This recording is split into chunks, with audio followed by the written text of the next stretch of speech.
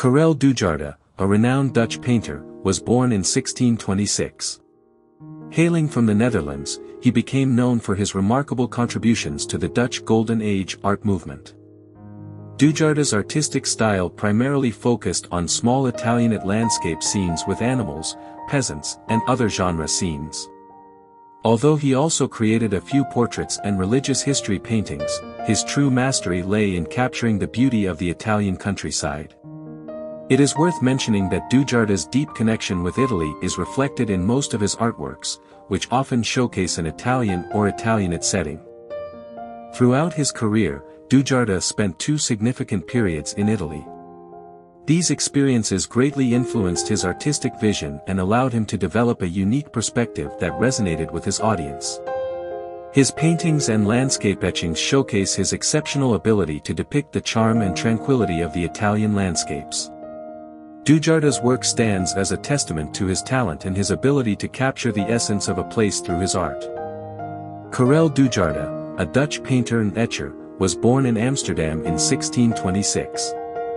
He is known for his landscape paintings, such as Farm Animals in the Shade of a Tree. In 1678, he passed away in Venice. After receiving training from Nicolaes Berchem, Dujardin traveled to Italy and became a member of the Bentvueghels group of painters in Rome. He gained recognition and success during this time.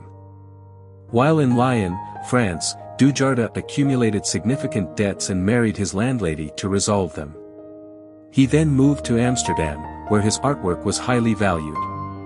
In 1675, he returned to Rome upon the invitation of his friend Joan Reinst.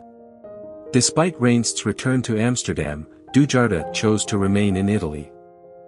In conclusion, Karel Dujardin, a versatile Dutch painter and etcher, left a lasting impact on the art world with his remarkable contributions to the Dutch Golden Age art movement.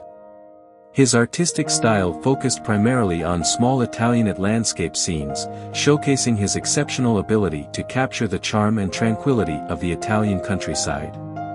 Dujardin's deep connection with Italy, developed during his significant periods there, influenced his unique perspective and resonated with his audience. His artwork, such as Farm Animals in the Shade of a Tree, stands as a testament to his talent and his ability to depict the essence of a place through his art.